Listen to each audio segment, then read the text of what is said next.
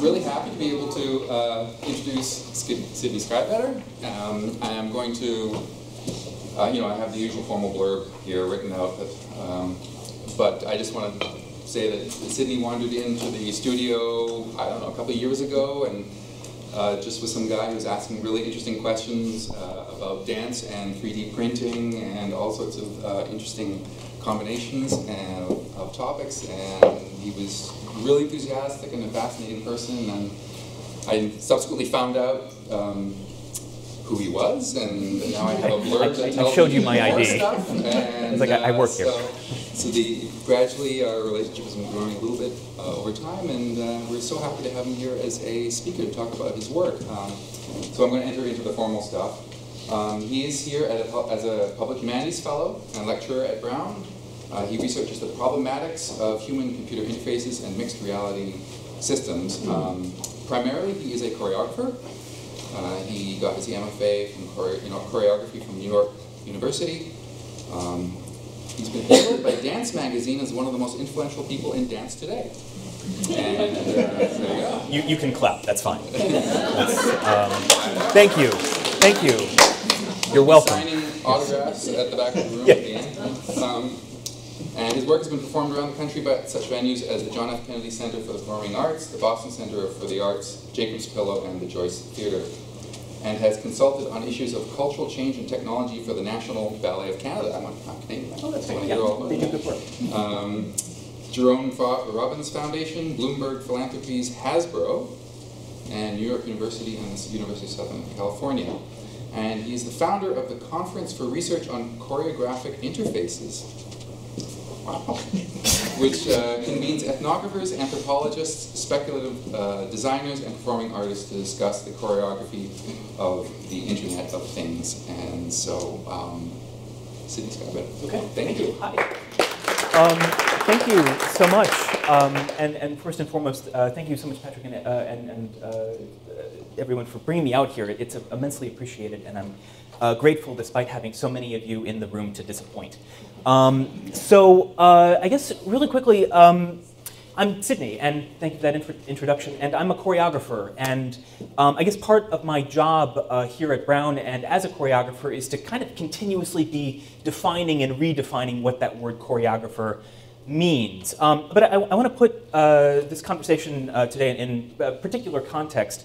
Um, last week, uh, the Supreme Court heard uh, oral arguments in the case of Carpenter versus the United States. You guys familiar with this?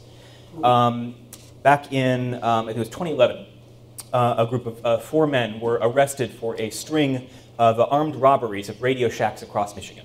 And uh, in addition to uh, eyewitness accounts that placed these uh, individuals at the scene, uh, actually conducting the, the robbery, um, the thing that actually put them in jail uh, was uh, data procured from Verizon. Um, what the, the, the state did was they procured cell phone triangulation data, which uh, corroborated the eyewitness accounts saying that the men were where they were supposed to be, or supposedly uh, being, robbing Radio Shacks.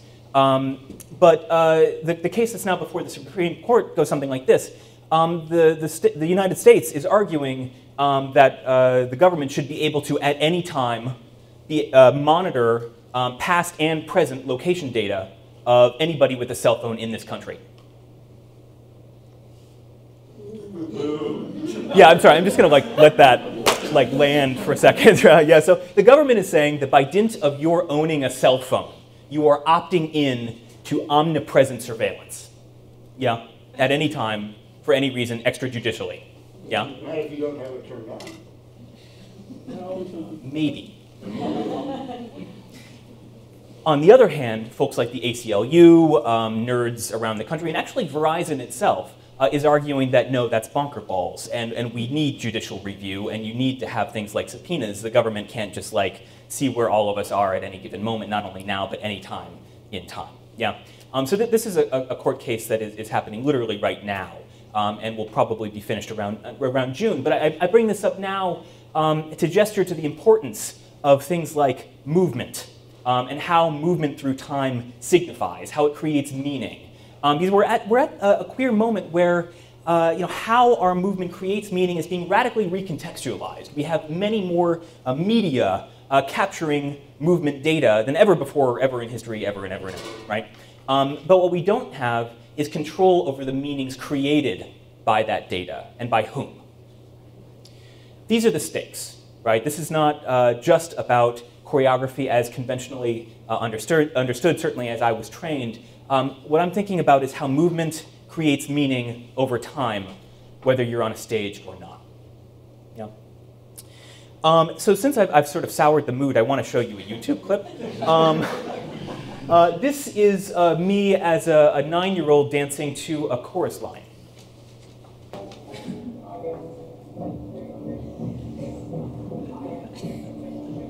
please hold your laughter until the end, or laugh perpetually.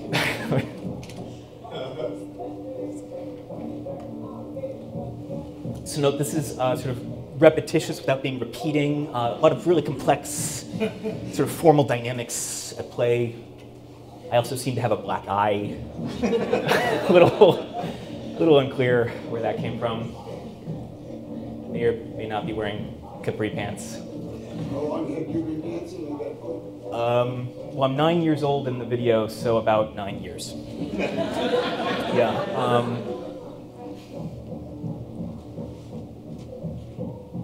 okay.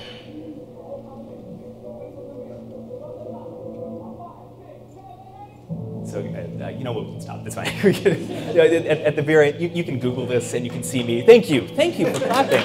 Thank you. Uh, you know, it was taking a while for you guys to applaud me again. And I was like, come on, guys, we're all in this together for me. Um, uh, if you want to, this is more on YouTube. There's a me singing very earnestly. It's just like, I hope I get it. Oh, but like I'm nine and it's hilarious. Anyway, um, so uh, this is a particular moment uh, early in, in, my dance training. I'd taken a couple dance classes clearly, um, had an interest in improvisation, um, and also self-seriousness. Um, as a, choreographer, I, I, took that material um, to create a, a new dance. Uh, in uh, 2011, uh, there was a world premiere at the Joyce Theater in New York City. Um, and, and, what I did was I uh, instructed uh, and uh, collaborated with my dancers at the time. This is Jennifer Jones and Jordan Isidore.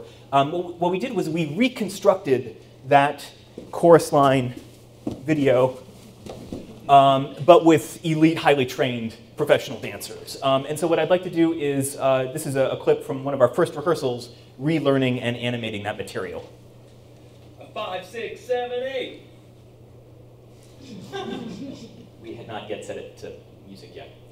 Um, but in the, in the absence of the context of my living room, um, you can see some kind of uh, pretty sophisticated uh, movement patterning right there. So like there's a lot of uh, sort of play on, on uh, vectoring, changes of weight.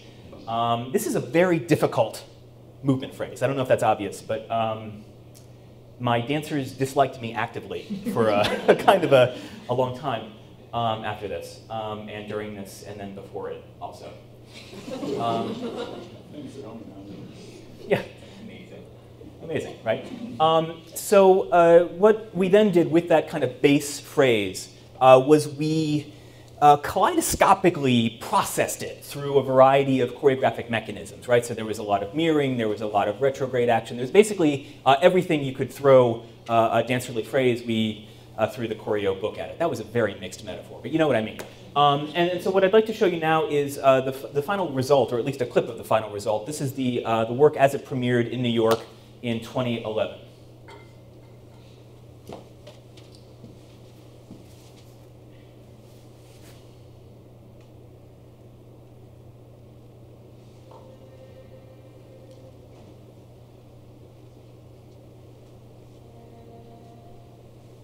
So this music is by Jóhann Jóhannsson.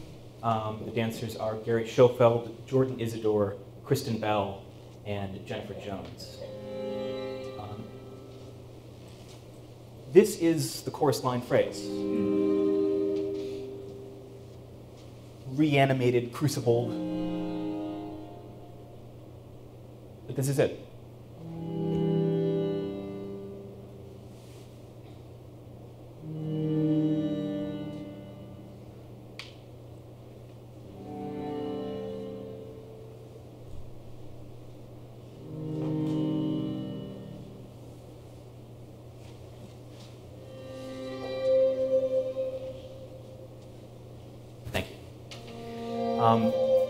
The whole thing is also on YouTube and on Vimeo if you'd like to take a, a longer uh, look. Um, what, what I hope to indicate by showing this is, is just the, the kind of um, the jewel box way that we I took that we took, and this was a highly collaborative venture because I sure as hell couldn't remember all this choreography and then do all the math to it. Um, we, we took this intimate gesture, this tiny, kind of farcical moment from my childhood, and then did a bunch of stuff to it. Uh, we processed it um, to create this dance for consumption and interpretation by our audiences. Now, a very reasonable question um, that I assume some of you are, are thinking that I, I, certainly face on a, a fairly ongoing uh, basis is uh, something to the effect of Sydney, you're a choreographer, why are you thinking so much about surveillance? You're a choreographer, why do you think so much about the Internet of Things? Why do you do this stuff with the technology? And, and I don't have an easy answer for that, um, except to say it, it, strikes me that there's a very similar kind of, of patterning um, between my taking an intimate gesture uh, from a past moment, processing it, and then performing it for an audience, and what the Internet of Things is doing to us on a daily basis, taking our most intimate moments, our most intimate gestures, our microfacial expressions, uh, tiny fluctuations in our heart rate, core temperature, our movement through space and time, processing it with the help of algorithms and AI, and then putting it out for display for an audience of machines and software. What I'm interested in is the interpretive moment, the way that our bodies perform. Um, I think this is a, a nascent moment uh, for choreography. I think this is a moment where what we understand to be choreography is radically changing. Uh, and while I don't have a whole lot of answers uh, for what it is or what it will be, uh, this is the scope of my research at this moment. But I, I, also wanted to sort of own with humility what that means, right? It means that I'm an expert in choreography. I'm an expert in how people move through space, predominantly on a stage. Uh, but I, I wonder what the stages of the future look like. So I want to, um, if we can pause this for a moment, I want to uh, go to uh, another um, kind of crucial moment in, in my, uh, that was emphatic, crucial moment, um, sort of Seinfeldian um, heart palpitation there. Um, the movie Minority Report. You guys seen Minority Report? Yeah. So this is, thank you. Um, so th this is kind of an important, let's just call it a, a, a text, right? So this is, um, you know, part, part of this work and research has been to identify films, books, uh, sort of cultural artifacts um, that also deal with the problematics of how bodies, human bodies and machines interact uh, and interface, literally. Um, and Minority uh, Report, uh, as bonkerballs flawed and frequently racist as the film is, um, it provides a, useful kind of way of imagining um, a literally gestural interface uh, between uh, humans and computers. So on that note, let's take a look. This is an edited clip um, from the 2002 Steven Spielberg uh, opus, Minority Report. This is uh, Tom Cruise's muscles.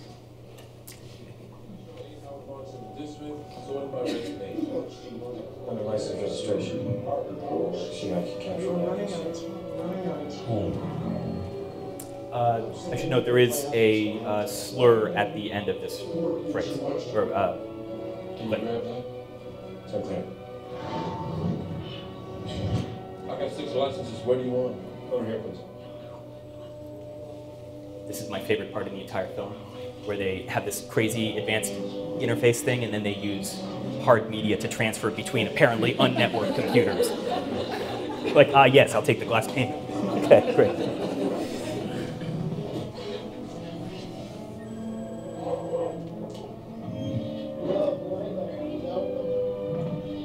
So note again the repetitious but non-repeating hand gestures done by um, Tom Cruise. 4421 games, bro. Send a DCPD blue and white. Set up a perimeter and tunnel on road. Investigator from the feds here. Yeah, it's a twink from the Fed poking around right now. John, I wrote down your calendar. I left you a message at your house. Check in with the papers ahead of Florida. See if the neighbors knew where they went. Check all relations. Check the neighbors and relations. Hey, John. What? Just get some coffee. Tell some stories how I save your ass every day. Can't live without me. I got coffee. Thank you. Danny Witwer. Twink from the Fed. Oops. Go. Sorry, Danny, I'm gonna have to give you the full tour. The marks was moved a couple of weeks ago. Nobody knows where. Still searching for family and Florida. Time horizon 12 months. Or what he's doing now. We can- Filming the image. we can go ahead and pause there. That- Um, Original running bond break pattern stream. That's the perfect frame to pause on. It's like Tom Cruise looking seriously through glass. Um, so, uh, th- it's funny. Minority Report is one of my favorite films for lots of reasons, not the least of which is because the gulf between like the film that I remember and the film itself, it, it's just huge, right? Um, so, a couple things. Uh, I, I want to tell you a little bit about um, kind of the, the choreographic history of, of this technology. Um, you guys uh, ever heard of a guy named uh, John Underkoffler? Thank you. yeah, put those hands up. Right. Um, so John Underkoffler um, is a nerd, uh, and he, um, at the time of uh, the pre-production for this film, he was a recent graduate and professor at uh, the MIT Media Lab, doing research on uh, emerging uh, human-computer interfaces, gestural interfaces specifically. Um, so he was tapped uh, by Spielberg and the design team of Minority Report to take his extant research and Hollywoodize it um, for the sake of the Tom Cruise experience, right? Um, so I, I want to uh, say this again. Uh, this was uh, extant research back in 2000, 2001 um, on gestural interfaces between computers and human beings. Um, that this guy, John Underkoffler, transformed with the help of his design team into this crazy making. Um, then, uh, on the basis of the success of, of this film, and I'm, I'm simplifying the timeline just a little bit, uh, Underkoffler then went on to work on the Iron Man franchise, uh, doing similar holographic display, speculative display stuff, uh, among other films. Um, and then he took the kind of intellectual capital uh, and certainly cultural heft of this work and started a company. That company is called Oblong. Um, it is a uh, for profit enterprise based in Los Angeles um, that specializes in, wait for it, collaborative software and hardware with gestural controls. Um, this technology, admittedly with some changes, has gone from uh, lab toys to science fiction to science fact. This technology, admittedly without Tom Cruise, uh, or maybe he's in there somewhere, I'm a little unclear, uh, exists. Uh, this stuff is real. The oblong uh, technology is called mezzanine, which is, an, I think, an appropriately sort of theatrical uh, metaphor. Um, it's uh, primary, the primary clients of this company are maybe not surprisingly, given the dystopic um, valences of Minority Report, the Department of Defense and energy companies. Go figure. Um, all to say that the choreographics of this film have an afterlife, uh, and uh, I think, uh, uh, or not even an afterlife, because they're still living, they're still here and present, uh, and they affect the decision making um, of terrifying people every day. Um, but the, the other thing that, finds me, that I find really striking about this, um, this film, um, you know, as, somebody who professionally has, has sort of watched uh, gestural controls uh, emerge and um, exist over the last uh, however many years, uh, the funny thing to me about this, this, uh, this uh, clip, this film, is that the gestural controls seem to work. Full stop. The, the stuff, the technology works in this film, and in the world, they do not. Right. So uh, in the real world, there is uh, several of my students are in the back nod, nodding like, "Oh my God, it's so true." Uh, none of this stuff works. Um, I mean, I, I'm exaggerating slightly, but the, the, the reality is, of course, that gestural controls are, for many reasons, much, much, much, much, much more uh, difficult than certainly this um, represents. Um, but back in 2002 or what have you, I I started getting interested in how this technology fails. And it fails frequently, it fails often, it fails in fantastical ways. Um, so, one of my favorite uh, examples of, of the failure, specifically of, of gestural uh, technology, um, a couple of you have heard this anecdote before, I'm sure. Um, the Nest smoke alarm. Yeah, a couple nods. Yeah. Uh, again, my students nodding. I'm so sorry. You're going to hear a lot of stuff that you've already heard. Um, the Nest smoke alarm. So, so the Nest, uh, Nest is a company currently owned by Google. It's founded by a bunch of Apple nerds, um, ex-Apple nerds, uh, and and their uh, sort of big uh, sort of genius moment was to take all of these kind of boring, uh, frequently poorly working uh, bits of, of uh, uh, uh, hardware that are in all of our homes, and then make them smart. Um, so, for example, thermostats. Um, a lever, a single lever, um, is, is, is too dumb. We need to make it smart by injecting software into it, and that software will track your every movement and become smart. Um, for example. So the Nest thermostat is maybe the most sort of popular or popularized uh, bit of hardware that comes out of the Nest um, uh, entity. Um, but a couple years ago, they came out with something called the Nest Smoke Alarm, or Nest Protect. Um, and, and, one of the uh, su- supposed advantages of the Nest Smoke Alarm was, wait for it, a gestural control system. Let's see where this is going. I wonder if this will work well. Maybe it will not. Um, so one of the uh, ideas was, okay, like you're, you're cooking something and there's smoke maybe, and the smoke alarm goes off, and what do you do when a smoke alarm goes off in your house? You punch the smoke alarm to death until it stops, right? Not a very good user interface. It's a functional user interface system, but maybe not a desirable one. Um, so what, what Nest uh, did was they said, okay, look, we, um, within a, a reasonable uh, amount of doubt, can understand when there's a body in front of the smoke alarm, and we can understand uh, that there are hands. Uh, we have sensors that know what hands are, um, and when they move like this, this is a gesture. This is a gesture that the smoke alarm can discern, and when the smoke alarm sees this gesture, the smoke alarm is going to shut itself off. Yeah, so it goes like something like this. Like you're cooking something smoky, the smoke alarm uh, goes off, and instead of punching the smoke alarm to death, you just stand in front of it and go, we're, we're all good. and then the smoke alarm goes, ah, yes, of course, uh, and turns itself off. Um, in practice, however, it turned out that the smoke alarm was functionally and fundamentally unable to register the difference between a gesture that says, everything's cool, and a gesture that says, I am literally on fire.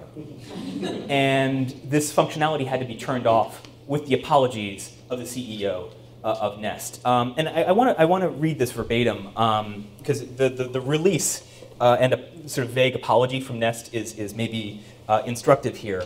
Um, I'm quoting from coverage um, back in, I think, 20, would have been 12 or 13, um, from Nest. Quote, according to a Nest spokesperson, the error actually lies in Nest Protect's potentially interpreting various other movements as a command to go silent. silent.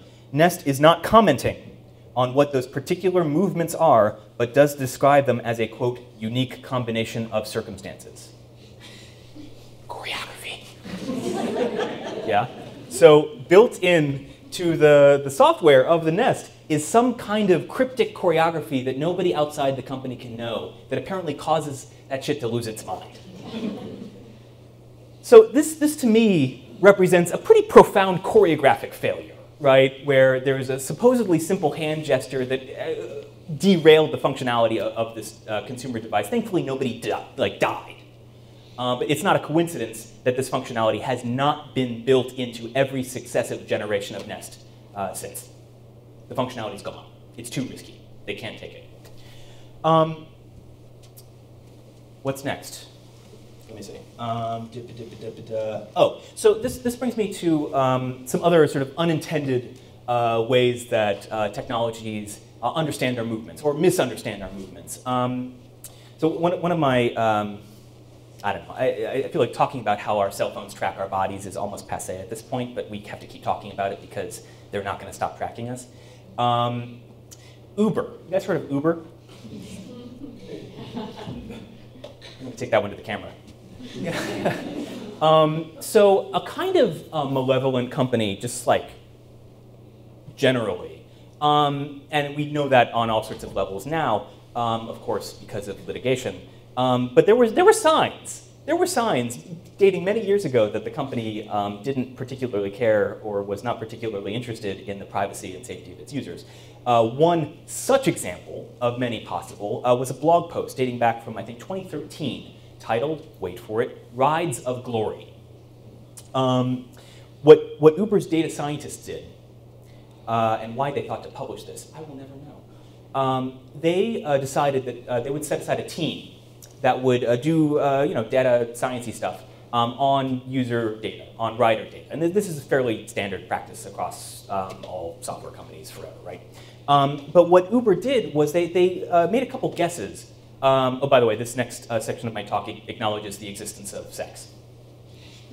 Um, FYI, it's a thing. Um, so uh, what, what, Uber did was it, it uh, used data science to determine that when individuals were taking Uber cars or Uber taxis um, to a place that wasn't their home between the hours of, I think it was like 11 p.m. and 4 a.m., they take a car to a place that isn't their home and then within a margin of a certain number of hours goes to a place that is their home, they have just had sexual intercourse. They have just had, a, in their, their phrase, uh, uh, I think, a, a ride of glory, a one night stand. Yeah? Um, and, and, so I, I just want to sort of talk that through for a moment. Um, what Uber was doing was using data science on your data to make an educated guess, a highly educated guess, as to whether or not you were having sex. There is not nearly enough awkward laughter in this room. I know, you know what I mean, right? So, um, and not just when you were having sex, but where, and potentially with whom. And why did they want this?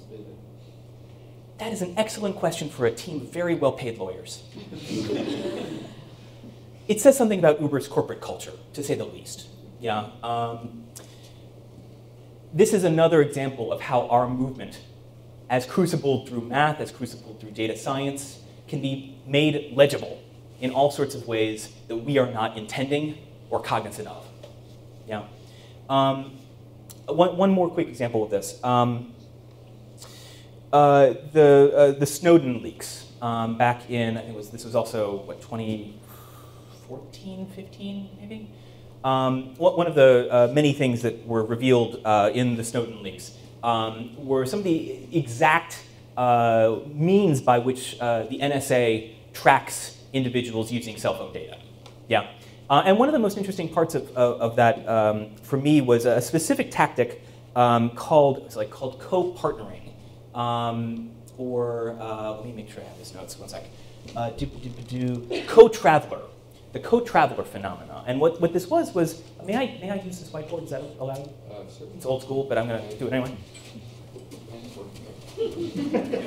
Great. Okay. Um, so, uh, harkening back to Carpenter versus United States, here we have the NSA, right? So let, us go ahead and say that these are overlapping uh, cell tower um, configurations, right? So each one of these represents um, the uh, sort of radius of a cell tower. Um, and using um, uh, triangulation between these cell towers, uh, the NSA and or Verizon or Apple or Google whoever uh, is able to understand uh, to a, a, margin of a couple tenths of a meter where you are in physical space at any given time, right? Um, so let, us go ahead and say that you are a person of interest, heaven help you, uh, of the national, uh, the NSA, right? So let's say that uh, you're, it doesn't really matter where this is, but let's say you have a path through space that looks something like this, yeah? Um, you, you start here, and over the course of an hour or whatever, you end up here going through these cell tower coverage areas uh, as you do. Now, um, the co-partnering uh, or the fellow traveler uh, phenomenon basically says that there will be other people, most of them random, who also are in these cell towers at the time uh, that you pass through them. Yeah, um, but some of these people will move alongside you as you go. So, for example, let's say that this is uh, you, you, are a personal person of interest, and this person happens to traverse uh, these um, cell tower uh, arrangements as you are moving through space uh, and time. And then let's say you you go through three of these things, and then you kind of beg off over here. Um, what that does, um, given enough data uh, on the part of the NSA or whomever, uh, suggests that you, um, this person here, are also a person of interest because you have co-traveled with the other originating person of interest over a certain duration of time across a certain, uh, certain amount of space, right? Um, so using uh, computer science and um, essentially a time machine of data uh, on the basis of who is traveling through space with whom, they're able to create a list of uh, potential associates of a person of interest. Um, so that's creepy enough because um, most of the time these patterns are completely random. Um, but sometimes, uh, for, for, example, you guys are, on, have you ever heard of Facebook? Yes, we heard, yeah, okay, fine. Um, there's two billion people on Facebook, right? Um, and, and one, uh, a question that is posed of the company with some frequency is, is how does the, uh, the friend recommendation engine work? Like, how does that work? Why is this person I met at a bar all of a sudden a recommended friend uh, on my Facebook feed or whatever? Uh, it turns out that this co-traveler phenomena is part of the math that informs Facebook's algorithm. Now, this is something that they said that they do, and then they said that they don't do, so I leave it to your judgment as to whether they do it or not. I don't know. Um, but to say that one more time, Facebook uh, transnational megacorporation uses uh, the same kind of geographic parameters uh, and geospatial parameters as the NSA to figure out who you should be friends with. Yeah. Um, so you know maybe the uh, maybe Facebook isn't like uh, quite as malevolently faceless as the NSA, or maybe they are. I don't really know, but the math is the same. Yeah, that's all I know. Um, and you can you can imagine uh, any number of circumstances where this kind of geospatial placement um, can be used for um, things more nefarious than friend requests. Yeah.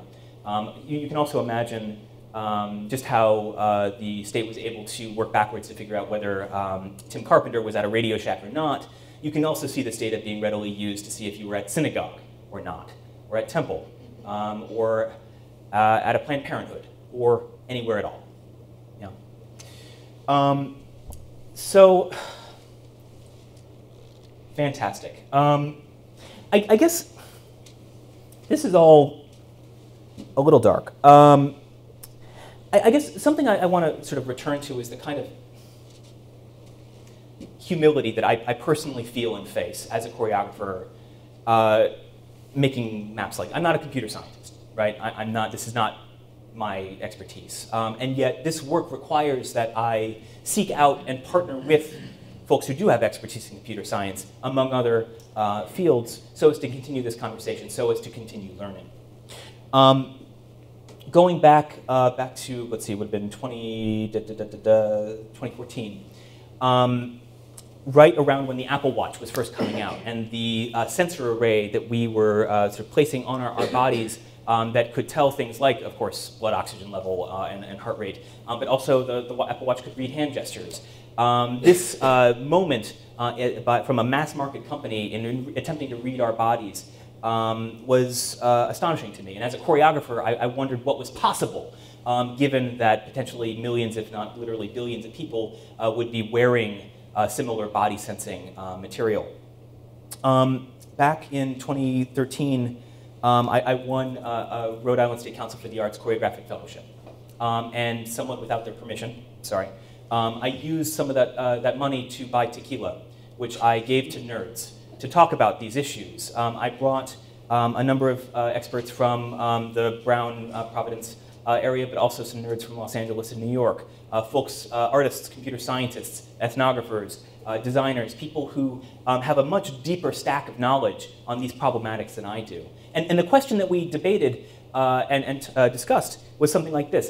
Um, gestural controls and body sensing human-computer interfaces seems like a giant, bleep this, clusterfuck it seems like a giant uh, mess of um, uh, ethical uh, problematics. Uh, it seems bonkers racist, bonkers sexist, bonkers ableist, um, and we're just getting started. Like this is the advent of a new field of technology uh, that is just now gaining mass market traction. It seems like an awful lot could go awfully wrong. My question to this group of nerds uh, was, A, am I right in supposing that this seems as potentially terrible as it seems? Uh, and also, is choreography a potentially useful method or metaphor uh, in rocking some of these questions? Is thinking about movement um, and the passage of time uh, and generation of meaning a useful way of framing some of these conversations? Um, and there's a lot about this particular gaggle I don't remember because tequila. But what I do remember was feeling affirmed um, that, there, that the expertise to deal with these questions is radically distributed. Um, and that expertise uh, in, uh, uh, there is no one who is uniquely qualified or uh, exhaustively qualified to uh, deal with these questions. Um, and that's humbling. That's humbling. Um, and to deal with that, uh, that distribution of knowledge, um, I set out to start, of all things, an academic conference. Sorry. Um, so uh, in working uh, with the Brown Arts Initiative, then the CAC, uh, Kira Del Sesto um, at the Granoff Center, um, we started this thing called the Conference for Research on Choreographic Interfaces, or CIRCE, um, which is also the witch from the Odyssey for those of you who went to Columbia University. Um, and it's sort of a joke, but it's not funny. Yeah, thank you.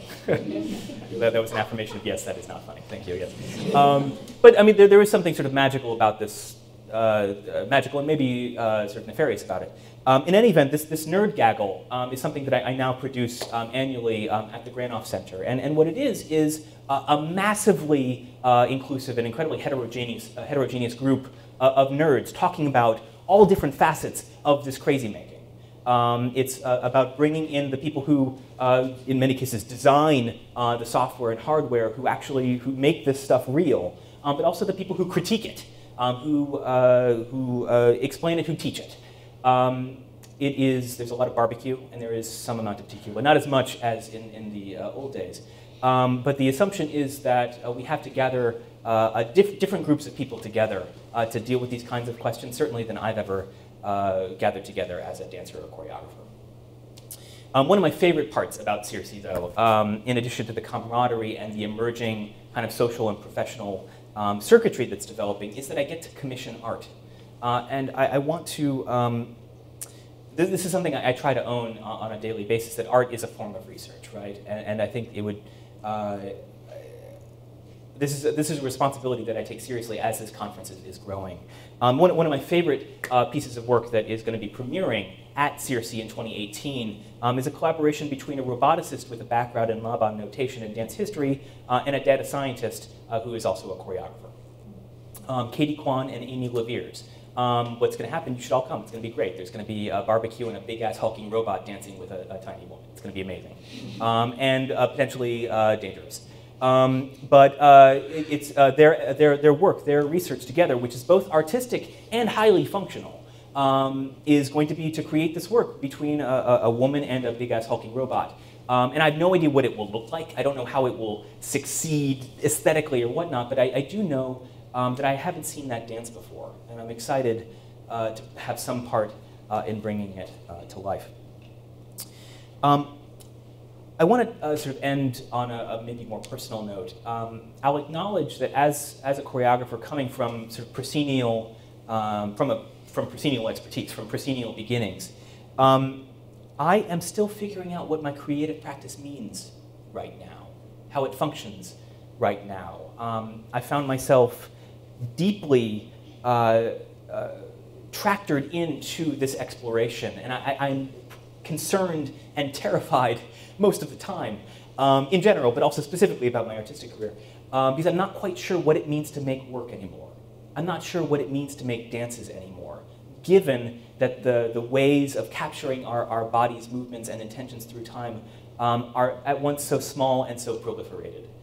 Um, something I am beginning to work on, and it's at its most beginning uh, and most nascent stages. Um, I've been thinking a lot about drones lately and drone swarms and uh, what it would take uh, for a drone swarm, uh, and I'm talking dozens of potentially hundreds of, of drones, to be controlled by my body through choreographic or gestural controls. This also seems uh, like so much uh, of the stuff I've been ranting about today, basically uh, terrifying and probably a huge clusterfuck. But um, to, as an artist, I find myself attracted to things that are potentially devastatingly terrible um, and also maybe just a little bit beautiful. Um, as part of that initial research, I've been wondering what governs these drones, especially lots of drones. Like one drone is hard enough to pilot by itself, let alone two, let alone five, let alone dozens. Um, and, and, one of the ways that um, I, have been thinking about that is by partnering with, uh, not surprisingly, partnering with other people, um, specifically uh, nerds in the field of biomimicry. Um, so I'm a, a, a choreographic, research fellow um, at the Biomimicry Institute at the University of Akron. And uh, one of the uh, questions that we are exploring is, uh, and, and, mostly them for the moment, is, is how is it that swarms of animals navigate space in massive constellations without clobbering each other all of the time? Um, and this is not something that we have an answer for exactly. This is, uh, this is it, it's not nascent research exactly, but it is uh, unknown, it's uncertain. Um, so for example, this, um,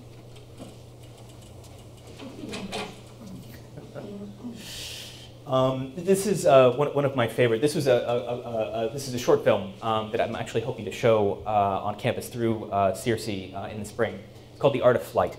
Um, and and what, what it shows is a, a, swarm, uh, I think they call it a murmuration, a murmuration of starlings. There are uh, thousands of birds here moving in incredible synchrony. Um, and it's, it's both gorgeous and terrifying, which means that I, I should probably pay attention to it. Um, but I, you know, I want to acknowledge also that you know, artists since forever have been fascinated by nature, right?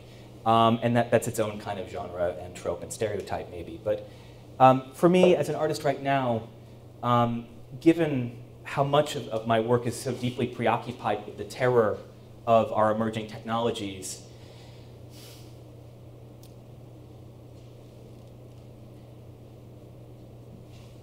things like this help me sleep at night. And I want to share it with you now.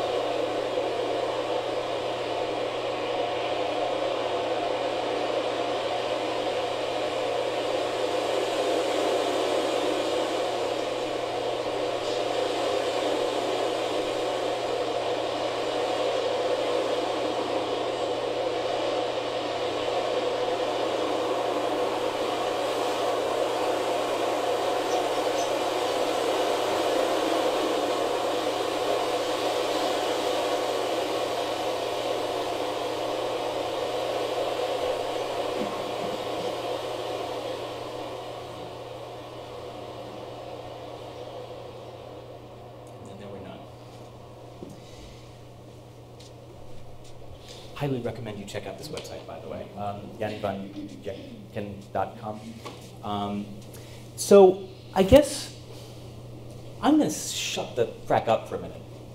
Um, I'm curious then what you make of this nonsense. Um, what strikes you in this crazy making? Um, where are you? Hi. Um, before you showed the starlings, I was thinking, ah, the starlings are, a- are something that begins to exemplify this kind of drone movement. What does it mean? There's a particularly good view to the southwest from upper floors of this building. Uh, and if you go to the corner where you take in the Unitarian Church um, tower and various other high points, um, you'll see small versions of what the starlings are doing here, but it allows you to watch individual starlings. Sure. How they break up into groups, how they will suddenly go individual and mm. perch somewhere. Others will join, then they'll suddenly turn into a group and do this wonderful thing, mm-hmm. break up again. And so you're sitting there thinking, well, what is the principle of autonomy? Sure. involved with any one bird in all of this? And when does, is, is, are, is there a rhythm to autonomy? Sometimes you're autonomous and sometimes you aren't. Yeah. Sometimes there's nothing to do but to join. And then where does the impulse come from not to be part of that flock anymore and just take a rest? Yeah. Um, and it was complex. Yeah, no, it, it absolutely is, and, and yet um, these are um, these are animals that don't have a discernible personality exactly, right? Um, so we're talking about a, a kind of um, intrinsic algorithm that potentially governs, at least to a certain extent, that behavior. Um, I wish I understood it better, but thank you. I'll have to go check out the view. Um, But the question is then that, that, that is our species claiming, Mhm. by way of its um, self-observed principles of personality, Yeah. um, principles of autonomy that are defended or, or deprecated Hmm. in various ways, and who's doing what Mhm. with them. I Who wants us to be starving? Who wants us to be starlings? And where do they want us to go? Sure. Um, yeah, well, it, so part of the, um, an ongoing question, that I'm going to sort of extrapolate from you just a little bit. Um, one, of the opening que- open questions in this research is indeed how does our usage of technology affect our movement? Um, sort, of, sort of the inverse of what I've been asking for most of the day. Is like how does our obsessive use of phones, for example, affect our posture or carpal tunnel or just how we navigate uh, our attention through our days? Um, so I mean, I, I kind of wondered this principle of personality or of algorithm, like how actually the machines choreograph us. Um, other thoughts, comments, things you want to uh, talk about? Um, yeah, hi. Just to comment on that, because, uh, so has there been any research to find out whether, whether we are behaving more like starlings or less like starlings? The question It, is, it just, it just occurs to me that if, that if, uh, if what's, if something like what is happening is that, is that uh, our, our behavior is being broken down into gestures that can then be mapped by sort of semi-autonomous structures, Yeah. then, then is the, is the way that people behave with their cell phones more like how starlings behave in Hmm. flocks, or is it, or is it, or is it like what we used to do with books? Hmm. Well, so, so maybe to extrapolate slightly, maybe there's a question as to like what, for example, beha- uh, behaviorally is a match for uh, uh, our usage of certain technologies, like whether it's starlings or fish Yeah, or exactly. bees or some other, uh, in this case, animal, but potentially not. Um, like what is uh, a kind of analogous system um, that describes our movement? Question mark. Yeah, that's fine. That's the question. Hi, hi, thanks so much, Sydney. It's really fascinating. Uh, it, it feels so contemporary and it feels so much conditioned by changes in technology over the last 20 years. And at the same time, it also feels very um, late 19th century in some ways, right? It feels like the convergence again of sociological studies Mhm. and Muybridge using photography, right, to reveal something that's imperceptible to the naked eye. And then studies of uh, kind of trans-historical studies of gesture, like Aby Warburg, right, and trying to put together um, compendia, right, of, of um, gestures across history. But the way that early modern dance, you know, responds to that and grows out of it in some ways, it feels like, you know, rather than being necessarily something that resists choreography or in which choreography is necessary, is kind of ideologically enmeshed in problematic ways, that, that choreography can precisely, to respond to that, Sure. is a repetition of those earlier Sure. resistant gestures, right? Sure.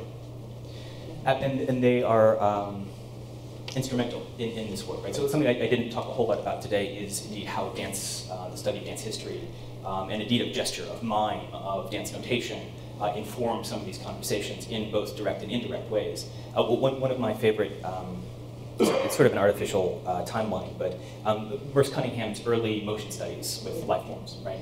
Um, uh, Merce Cunningham, uh, of course, is a choreographer um, whose uh, experiments with technology um, are very uh, are, are vital to the field of contemporary dance. Um, and uh, over the last year or so, on Instagram in particular, there has been a, rising tide of, of they're not dance nerds exactly, but they are people who take um, the successive, uh, like later generations of the Lifeform software and make crazy dances out of them for performance exclusively on YouTube uh, or on Instagram. Um, and, and so there's a kind of, uh, of, a, of a history here um, that starts in, it would have been the early to mid 90s, um, with the advent of LifeForms and other kinds of motion-oriented software um, that results in these incredible performances of impossible choreographies on the internet. Um, and, and so I, I take your point. I mean, I, I guess part of my ongoing question then is, is where is the history, or like which history are we looking at, and, and how then uh, can we uh, learn from that, given that um, I don't know, I wasn't taught how to read Minority Report in dance history, so you know, um, thank you. Um, yeah. Sorry, yeah, I, I, I- I did have a question to ask, or, or to, uh, put forward something that you might comment on, Yeah.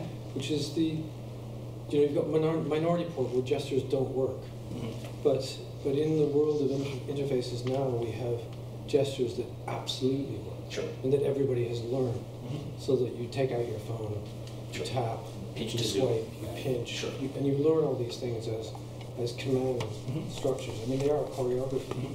but they work, and they're part of uh, sort of an actual interface. Sure. So there's there's that on the one end, and then there's so presumably, you know, pressing a button on a it doesn't work, but you, you still do it. Sure. It should work. Mhm. Um, and then there's uh, voice interfaces now. So it's the, it's this it's this business of sort of command gestures that we were taught Mhm. to learn to do correctly, Yeah.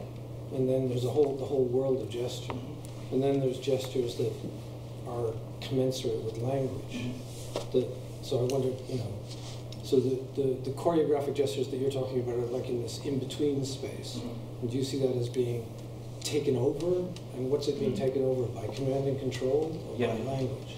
Sure. Um, that's a really interesting question. Um, so, I'm thinking about gesture, as you're sort of alluding, in the most inclusive way. So I'm thinking about, uh, for example, I think a lot about microfacial expressions um, and how um, through software, um, for example, Affectiva is maybe one of the most sort of famous examples of, of a kind of software, a company that creates software that monitors uh, facial expressions for sentiment. Um, and so I'm counting facial expressions as a kind of gesture, uh, potential gestural control, um, in that it affects which advertising, uh, what marketing, what advertising I see and where. Um, uh, I, similarly, uh, the uh, facial flush, um, like these very tiny, um, like I'm calling them gestures mostly out of convenience because I'm not quite sure how else to group them um, outside of a kind of um, biometrics. Um, so I, I guess I, from a choreographic vantage point, and this goes back to my sort of er- er- uh, earlier question about like, well, what is a choreography now? Um, I'm including the Tom Cruisean this crazy making alongs- alongside my sweat as a gesture. And to answer your question, I am also sway. Yes. So, from the point of view both of surveillance and human-machine interaction, um, a lot of people talk about trust, and they also talk about transparency. And it turns out that there's this difficult relationship between trust and transparency, and they may be mutually self-destructive. Sure.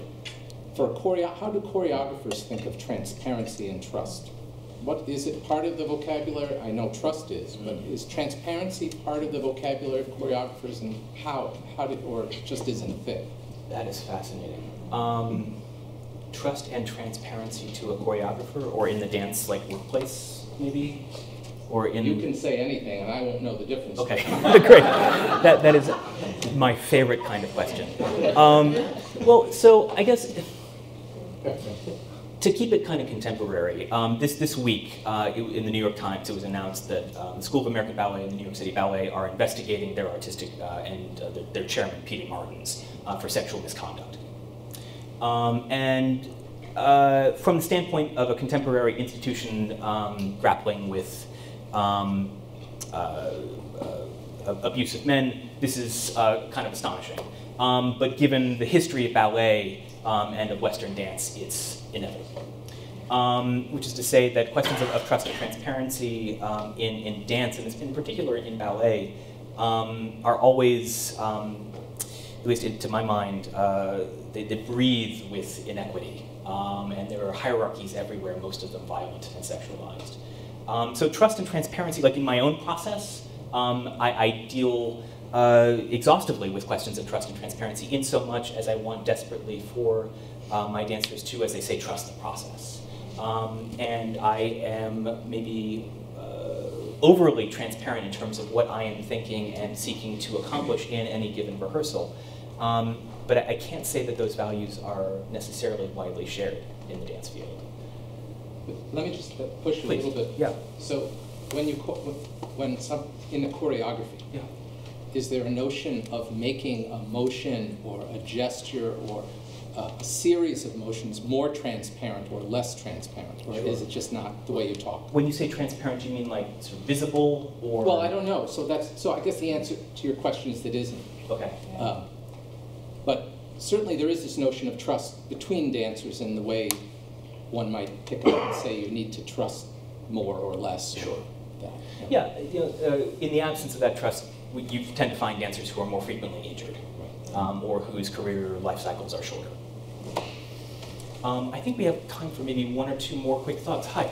Hi. Um, Thank you very much. It's all very interesting.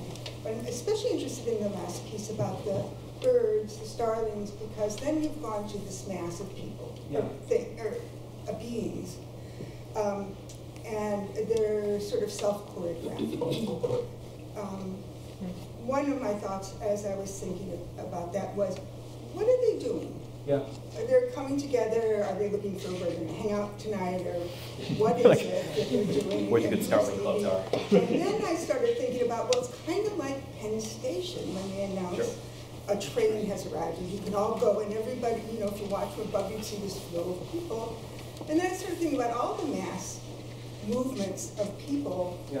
uh, nowadays, especially with refugees, fleeing hurricanes, all of those things. Do you see that as a kind of choreography, self-choreography? Do you think of those big movements of people that if you moved back enough, you could see kind of a pattern? Sure.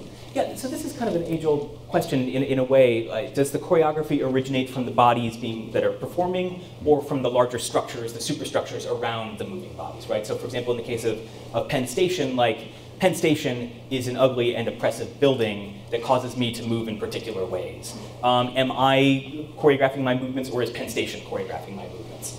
Um, in the case of the Starlings, uh, you're right. Like I, we're not really sure like what it is they're doing or seeking to accomplish, or maybe by extension, like what are the parameters around which they move. Um, what's uh, are they looking for the good Starling clubs, or are they just flying because it's fun, or we, like, we don't we don't know. Um, I, I guess my objective is to, even while not answering your question exactly, to ex- explore the tensions between uh, having choreographic agency and being choreographed upon. Um, it strikes me that uh, we are increasingly being choreographed upon in ways that do not take our, our best wishes at heart. Uh, yes? To follow up on that, my response to your whole talk is that the choreographer is perhaps analogous to a programmer. Sure. And that you perhaps could be a hacker. Sure. Hmm. And what is your role as a hacker Sure. with regard to dance Yeah. and movement and choreography? Yeah. And is it possible to hack the larger oppressive system that we're all living under Sure. using your talents as a choreographer and dancer within that context? I have two questions. Are you with the CIA and are you trying to recruit me?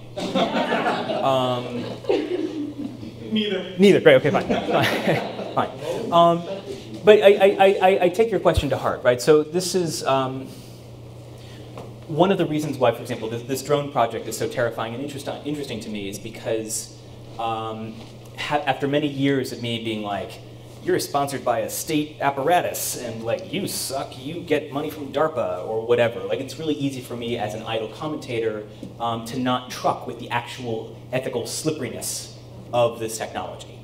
Um, and, and one of the reasons why i'm structuring this particular project in the way that i am is because i want to feel what it's like to get money from darpa. You know what i mean? You know? Uh, and, and i will be the first uh, person in performance studies, I assume, to have done so. When this, has there been performance studies people at Brown who've done got money from Brown? Um, my, my, my point is that, at least in this case, this is a kind of ethical dilemma that I'm very interested in addressing through my work. Um, I don't honestly know how to choreo hack something um, of this kind of magnitude, other than I know that, for example, um, there are lots of people on the internet who uh, have little choreographies for fun that could be seen as a kind of gesture against uh, oppressive systems. One, one, one, of my, one, of my, favorite examples of this, um, not having to do with oppression per se, but it is still kind of uh, inane and hilarious. Um, you guys heard of, uh, ever heard of um, people who use GPS tracking devices to draw penises? So th- this is um, this is something that was uh, originally kind of a, a small. Um, uh, I'm, I'm so sorry. um, th- th- this was something that was originally kind of a, a small, kind of culty um, Fitbit kind of community thing that then turned into a larger, sometimes commercialized uh, thing. My favorite example of this is um, actually a, a testicular cancer awareness event in New Zealand called Balls Out, where you would try and draw use a GPS device to draw the biggest penis you could on Google Maps. Um, but this, this is another way of, uh, this is not just me talking about penises, though that is literally what I'm doing. Um, this is also a way of using, again, movement data um, for expressive means. Um, and whether that's sort of hacking, not, not really, but it is expressive in, in ways that are maybe um, sort of aggressive or assertive in ways that we haven't seen before. Um, I think we've, the last comment, thank you. Yeah. Uh, I had two points on your, uh, your video here. One, remember, uh, I saw the mi- Minority Report, and it also features three psychics Yes. for premonition. The And- original black box. Yeah. And uh, the other point I wanted to make was, uh, in this, your video of starlings here, at some point we get in very close, and I'm not sure if, if the, the flock was flying toward the camera or if the camera just used zoom lens, but it confirms something that I thought about, and that to look at, uh, many of the starlings are not flying in the, in the same direction. there's a lot of chaos still there, Yeah. if you get close enough. Sure. Um, but like with all chaos, is the chaos is still governed by principles that we maybe don't understand. Um, so, so this, this is the, the algorithmic question. Like this is why I'm trying to figure, talk with the biomimicry nerds to figure out like, to the extent that we can, like what are the parameters there, and what does it mean um, as um, you were gesturing towards at the very beginning? Like what, what, what does it mean to be part of and yet absent a group? Um, these are also, this is early modern dance, right? like this is um, a major dance historical thread, um, but with birds. Um, I think that's all the time we have. Please join me in. Oh, thank you.